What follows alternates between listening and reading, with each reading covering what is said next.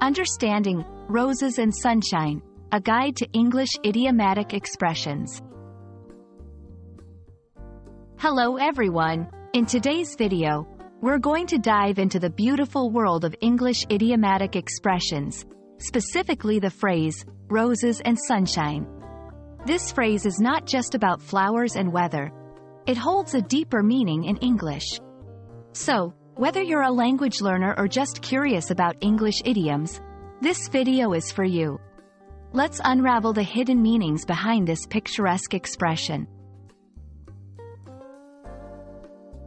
Roses and sunshine is an idiom that conjures images of beauty and happiness. It's often used to describe situations that are ideal, perfect, or overly optimistic. This phrase is a blend of two elements.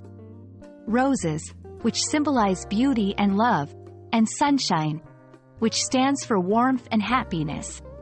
When combined, they represent an idealistic view of life, often ignoring the harsher realities. The origins of roses and sunshine are a bit unclear, but it likely evolved from the general positive associations with both roses and sunny weather.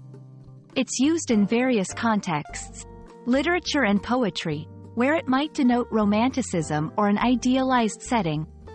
Everyday conversation, to express unrealistic expectations or to sarcastically comment on a difficult situation. In business or politics, it might be used to criticize plans or projections that seem too optimistic.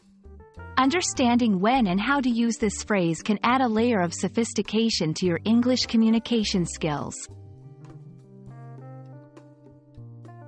Let's see how roses and sunshine can be used in sentences.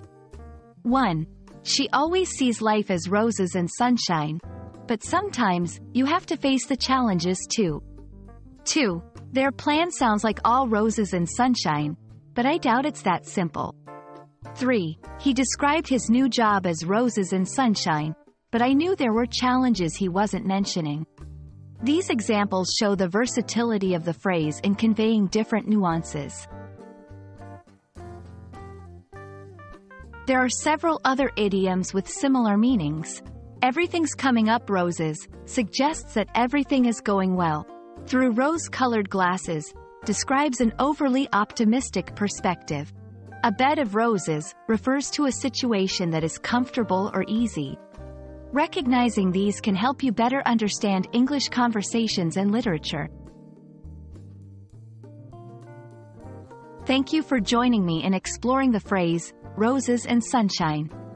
Idioms like this enrich the English language, adding color and depth to our conversations.